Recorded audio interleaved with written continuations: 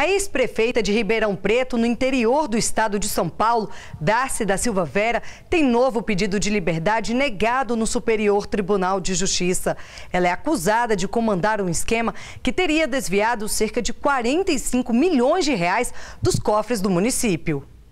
A defesa tentou a revogação da prisão preventiva da ex-prefeita Darcy da Silva Vera em primeira instância, mas não teve sucesso. O Tribunal de Justiça de São Paulo também negou o pedido por entender que seria mera reiteração de outro pedido de habeas corpus que ainda aguarda decisão de mérito do TJ de São Paulo.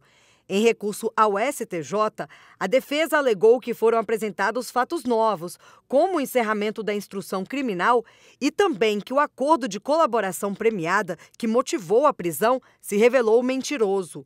Ao negar o pedido de liminar, a presidente do STJ, ministra Laurita Vaz, disse que o habeas corpus não foi instruído de forma adequada com os documentos necessários para análise das alegações. Segundo ela, não ficou comprovada a inexistência da repetição de pedidos apontada pela corte de origem.